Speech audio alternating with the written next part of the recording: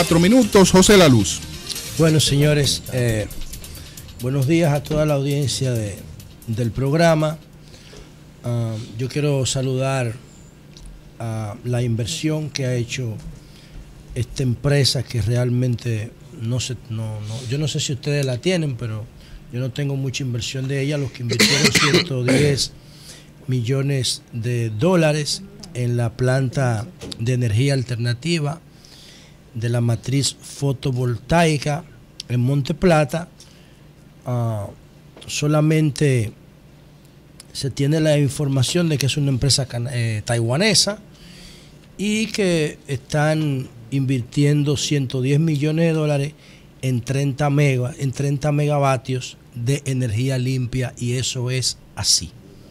Eso impacta el medio ambiente y impacta positivamente la factura petrolera y estuvieron presentes el embajador de Taiwán, el presidente de la República, Rubén Bichara, que es el, líder del sector energético, y Charlie Mariotti, el legislador de la provincia, entre otras autoridades.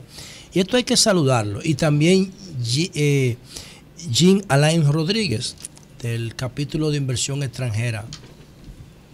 Esto hay que saludarlo porque el país tiene que moverse a una generación más plural, más variada y más limpia. Ese es el futuro. Y entonces realmente la energía fotovoltaica está moviéndose hacia adelante en el mundo entero porque cada vez esta celda que tiene la capacidad de convertir los fotones de luz en electricidad cuando liberan los electrones, eh, se están haciendo cada vez más eficientes. Y empezaron con un 6% de eficiencia con el silicio y ya van por un 30% de eficiencia. Y entonces también sus costos están bajando. Es, es eh, parece difícil, ¿no? Pensar en 110 millones de dólares por 30 megas. Lo, normalmente la, la energía fotovoltaica, los paneles tienen una duración, yo no sé eh, las características de esto, pero tienen una duración promedio de 25 años. Eh, pero en el tiempo eso se retorna sin ningún tipo de duda. De modo hay que saludar esto y recordar algo que yo le, le, pido a Danilo, en términos inclusive hasta personales, si lo viera. Yo quiero que Danilo incluya en su propuesta de gobierno, atención Danilo, eh, incluye en tu propuesta de gobierno de tu segundo periodo la necesidad de que el país se mueva a un iluminado basado en LED y para dejar atrás las luces incandescentes y fluorescentes. Las luces incandescentes, que son los bombillos tradicionales que se calientan muchísimo, que generan una luz amarilla con la que nosotros nos criamos, eso está mandado a guardar. Eso lo quitaron en los países desarrollados ya. Entonces, si nosotros tuviésemos un alumbrado nacional en LED, es como tener otra planta de Punta Catalina, porque eh, dicen los expertos que los países consumen entre un 10 y un 15% en iluminación de toda la energía. Y se sabe el nivel de eficiencia que tiene el alumbrado LED que recibió el Premio Nobel de Física en el 2014. Entonces, eso equivaldría a otra planta de generación. Si nosotros pudiéramos alumbrar el país entero con LED. No el truco del cambio de bombillo de bajo consumo, porque eso fue un truco para buscarse unos cuartos, eso no es. Es una política nacional orientada a desincentivar la producción, la fabricación y la importación de todo lo que no sea LED en un periodo de cuatro años. Y eso se puede lograr perfectamente que nadie en la República Dominicana encuentre una luminaria, un bombillo, una iluminación que no sea LED. Y crear las condiciones en términos fiscales de atractivo de inversión para que los, esas, eh, e, e, esos, esas luces se fabriquen en la República Dominicana y se puedan masificar. Pero saludamos esta iniciativa de esta planta en Monte Plata de 30 eh, megavatios. a base de energía fotovoltaica. Entonces, por otro lado, señores, miren, eh, la situación en Brasil se pone ahora más difícil porque el principal aliado del Partido de los Trabajadores del PT rompió la alianza que tenía con, con, con Dilma. Rousseff y el PT. Y el PT. Entonces eso ocurre porque el vicepresidente Michel Termer, si Lula, si Dilma es procesada y es separada del poder, él es la primera opción para ser presidente de la República. Entonces, este partido que se llama Partido Movimiento Democrático, Brasileño tiene la segunda mayoría en el Congreso. Una de las, una de, de los objetivos de Dilma poniendo a Lula como, como jefe de gabinete era tratar de aprovechar el liderazgo de Lula en esa alianza, porque ese movimiento fue aliado de Lula durante los dos gobiernos de Lula y fue aliado de José Enrique Cardoso también, que aunque no es de, Fernando Enrique Cardoso, que aunque no es del PT, es socialdemócrata. Pero estos son de derecha. Y entonces eh, ellos han visto la posibilidad, de hecho se dice que en el Congreso de Brasil... En el análisis de ellos, José, y discúlpame, se dice que no tienen perfil ideológico, que operan como un grupo... Eh, están más vinculados a la derecha porque tienen una agenda no eh, liberal, sino neoliberal. Eh, donde hay gente que piensa de diferentes formas, incluso eh, a pesar de que el vicepresidente es la cabeza por el, rango público que, que, ostenta y la posibilidad, incluso lo acusan a él, de ser uno de los instigadores. Bueno, lo cierto es que ellos habían dado un mes, lo dijimos cuando fuimos a Santiago, cuando hicimos el programa desde el monumento, que ellos habían dado un mes para negociar con el gobierno y una semana después de haber dado esa fecha, de haber dado ese espacio de tiempo, renunció ayer el primer ministro. En Brasil hay 31 ministerios y, esta, y este partido, el PMDB, tiene 7.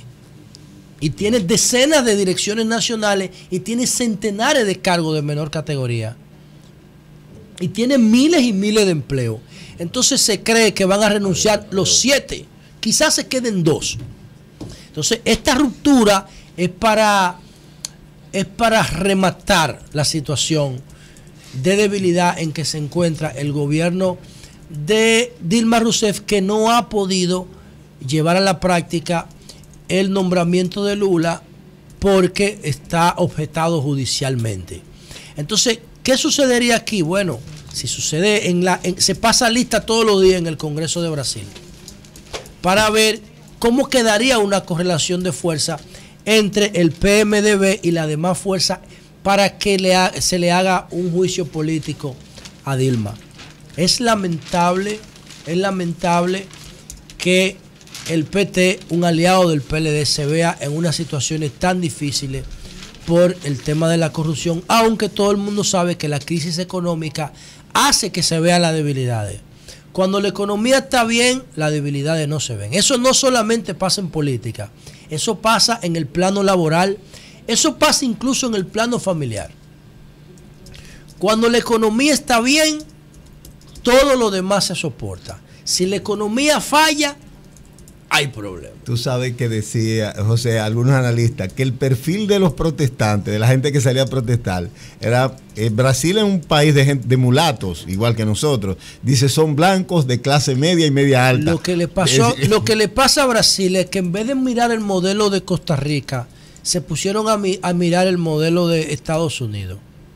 Yo siempre me he preguntado, es que Estados Unidos no es modelo para eh, Costa Rica no es modelo para Brasil, Estados Unidos es el modelo. No. Ellos son un país eh, continental. Eso es lo que tú opinas, no yo. Sí, pues yo Para mí, para jugar fútbol no se necesita un estadio de mil millones de dólares. El que crea eso, a mí no me importa.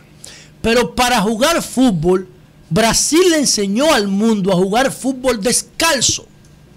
Descalzo y en la selva. Entonces no me diga a mí que para jugar fútbol tú tienes que gastar mil millones de dólares en un estadio. No, tú tienes que separar la calidad del lujo. Pero eso no es. Siempre yo lo digo. Pero también. Separa la calidad del lujo. Pero también, pero, también tú tienes que ver cosas como esta. Eh, tú tienes que ver la etapa en la que está estaba esa economía.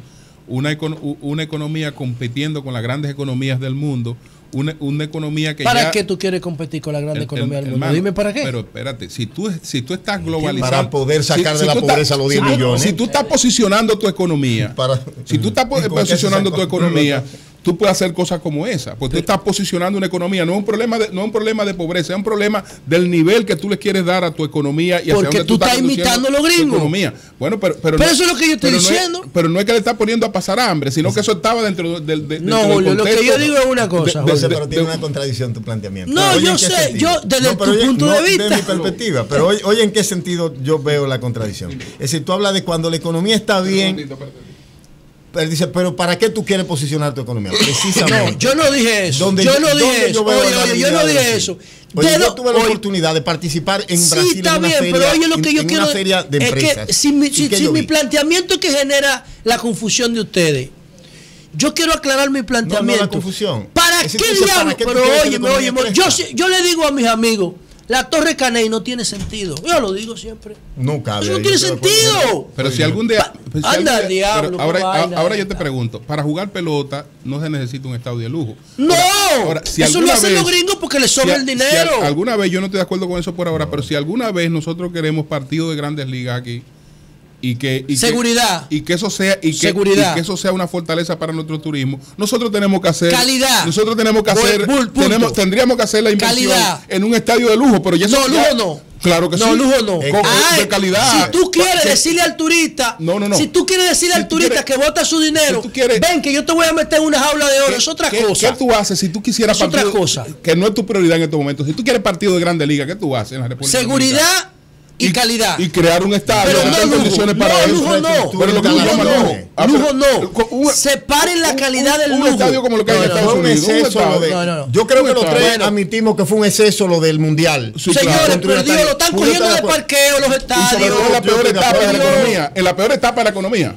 Yo no entiendo eso, po- porque ese afán de Estados Unidos, de Brasil, de imitar a los gringos, yo no entiendo eso.